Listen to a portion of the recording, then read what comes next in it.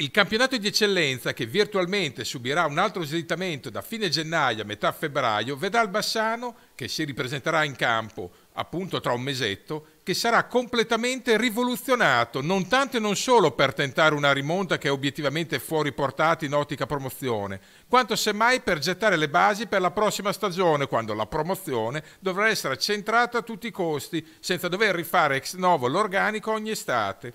In questo senso sono arrivati sinora il difensore centrale Leonardo Pilotto, il centrocampista Mattia Sandrini, la mezzala offensiva francese Abdul Maite e il centravanti di origini croate Antonio Lukanovic. Hanno altresì salutato il mediano Giacomo Cenetti, l'interno Alessandro Miotto, l'ala Marco Roveretto e il centravanti Andrea Antenucci. Ma il maquillage invernale non è ancora completato. Arriverà un altro esterno offensivo emergente dai professionisti e presumibilmente un altro centrocampista di qualità. Visti i tempi non c'è fretta, ma indicativamente la settimana ventura queste operazioni andranno in porto per ridisegnare un girone di ritorno quantomeno galoppante e per riaccendere nuovi e doverosi entusiasmi.